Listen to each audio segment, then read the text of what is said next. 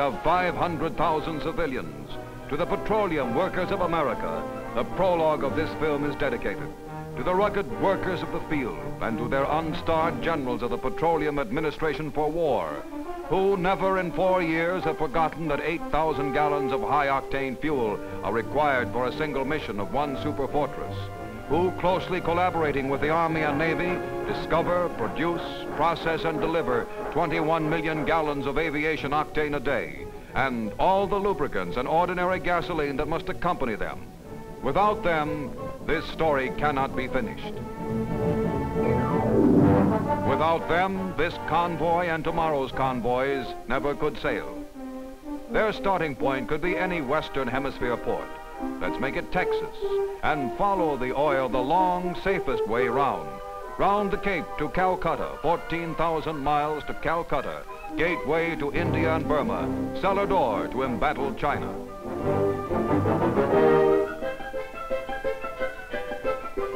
Docking facilities are tremendous. Freighters unload here in 48 hours, compared with seven days in pre-war times.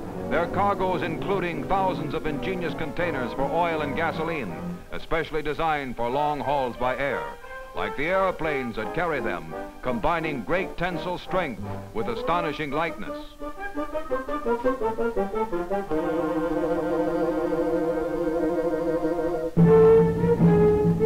Here in the oil port, the west collides with the east. Coolie power serves canned horsepower. The scene may be duplicated dozens of times in many ports. For two years since the Quebec Conference, this drama has grown and spread and quickened, combining the primitive and the modern.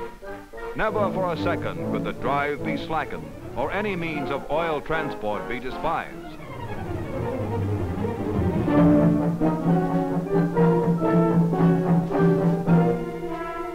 For this is the territory that must be reached and served, almost a third as large as North America. A station in recently embattled Burma, a thousand miles from Calcutta, a thousand miles across jungle and desert and mountain, much of it Jap disrupted. When these scenes were photographed, it had been nailed down, made secure.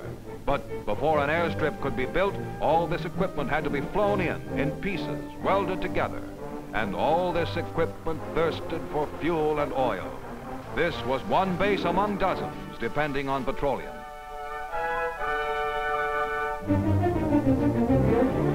Every day, every hour, bombs earmarked for Mandalay and Rangoon rolled gingerly across fresh graded airstrips. And every hour, high octane from cracking plants 16,000 miles away came sprinting forth to hoist these iron eggs of liberty.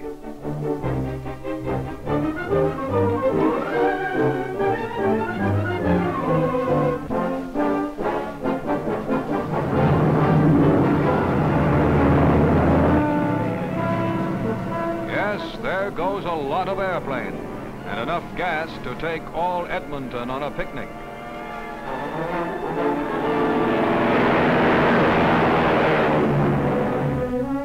Now this is a section of an immemorial transit system of India. Very likely this tributary of the Ganges was carrying freight in 1000 BC. And it carried our fuel, too, in its leisurely way, until we grew impatient.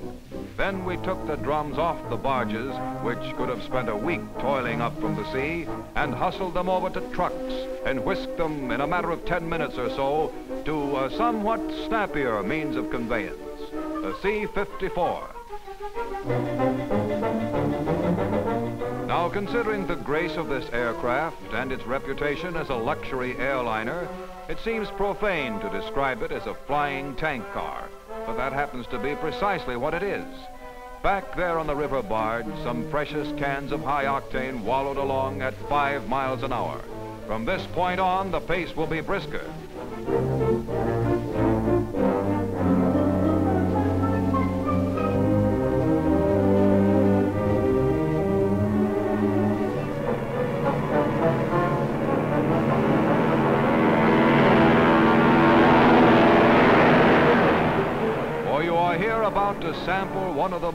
Romanticized adventures of them all. To wing across the tallest mountains known to man, the unexplored Himalayas in the corner of Tibet. You are flying the hump.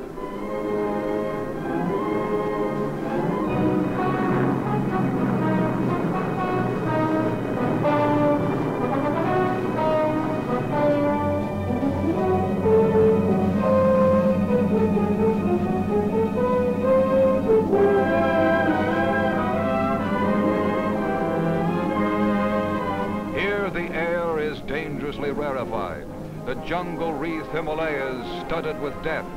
Yet planes now master the Earth's biggest bumps once every two minutes to reach Kunming, back door and storehouse of free China. And so here are 12,000 pounds of petroleum for the arsenal for the coming offensive. But it took a lot of gasoline to get them there. If military security allowed a recitation of statistics at this point, you would be astounded at the oil tonnages that have flown into this backcountry medieval city of Yunnan province.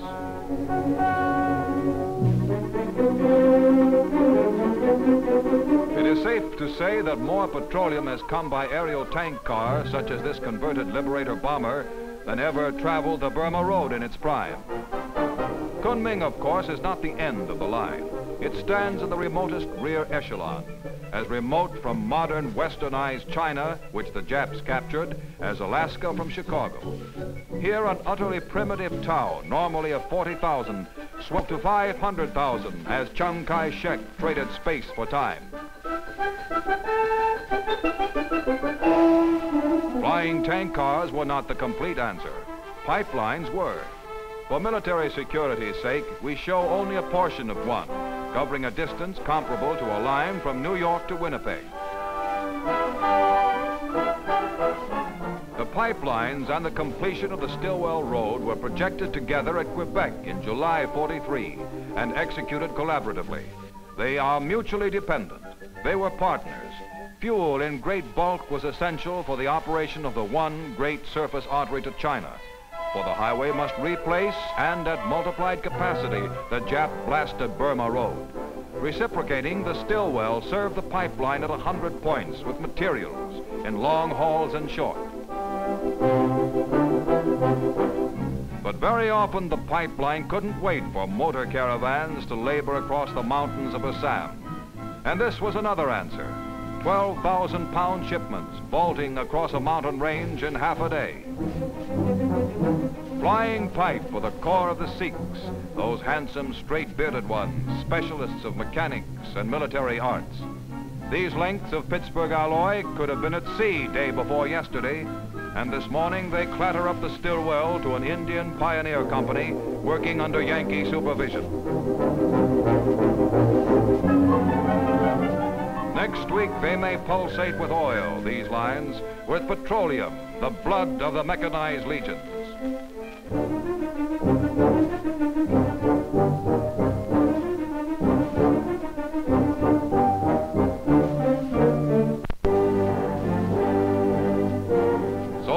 Pipeline fed a bulldozer, and the bulldozer hacked out petroleum's right-of-way. Indian pioneers marched a pipe length behind with half-ton sections of the great conduit. And as U.S. soldiers joined it, Indian lads with machetes cleared the jungle to Burma. To this primitive railway, shell-torn, bullet-shredded not long ago. And now as the Burmese and Indian war refugees return to their recently embattled homeland, we give you something very special in ingenuity and audacity a hundred-mile rail line whose principal motive power is that hardy campaigner, that doughty, unconquerable prime mover, the one and only Jeep. These improvised locomotives, their crews and line maintenance men, were flown in here while the Japs still occupied much of the right-of-way.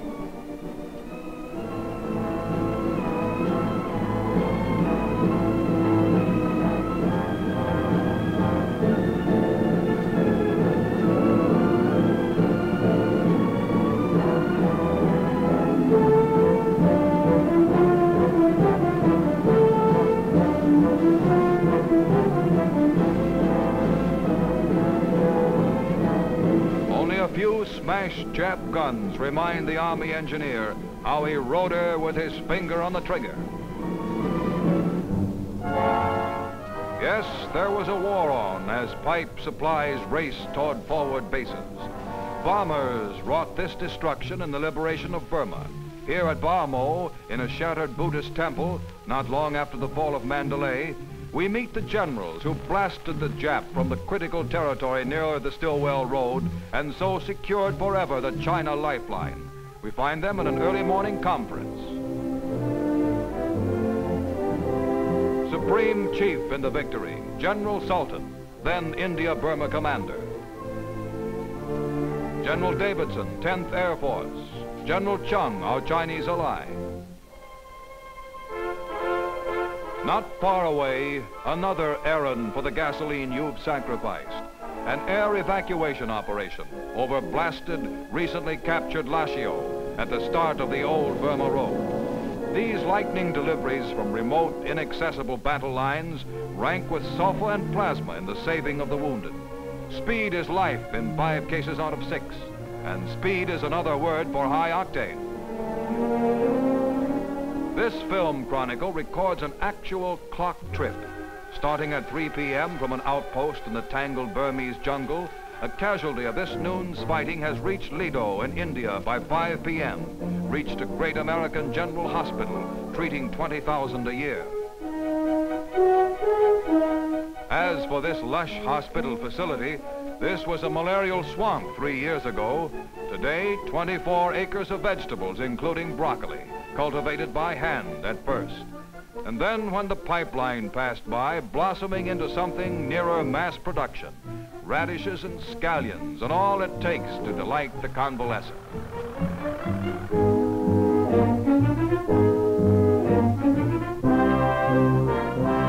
Yes, the pipeline passed by and went on, up toward its loftiest, most difficult terrain in India, to a routine little tussle with a thousand-foot gorge rising 400 feet above the river Logalai.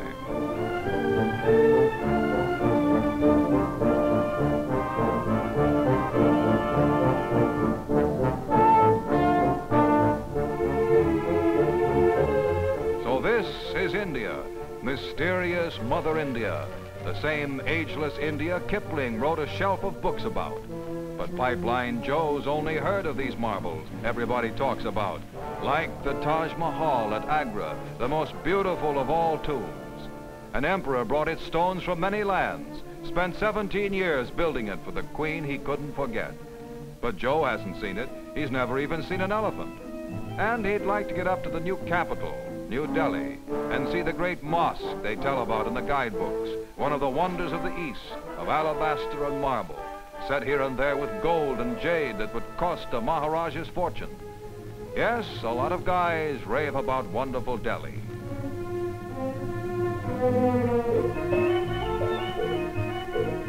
Others gab about Calcutta. But Joe's just been here 15 months building Uncle Sam a pipeline.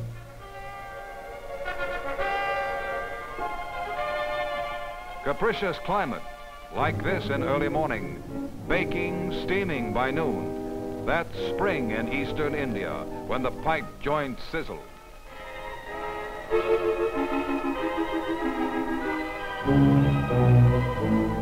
That's India as the monsoons begin, the wettest spot on earth. From June to September, the deluge totals 400 inches of rainfall. But petroleum's march never loses its cadence. Well, boulder together, hold up our average. There are mountains ahead, mountains ahead, and then China. Now this remote rear echelon section is nowhere near the end of the line. But as thousands of Chinese come rushing out to labor over it, to help the wizard welder from the west, one realizes that a climax has been reached, a climax that all these humble ones deeply feel and share. After so many years, the fresh blood of freedom has come. A link has been forged, a linking of peoples. No flags fly, no trumpets sound. But this is the scene of a major victory, a pledge kept, a compact fulfilled. For every mile of Stilwell's highway, every gallon of petroleum streaming from 16,000 miles away, every drum of high octane that flew the hump, was an element in this master strategy of the China Lifeline, the preface to this hour on the horizon of China's victory. Her victory, our victory, our indivisible victory. These China are your allies, today and tomorrow.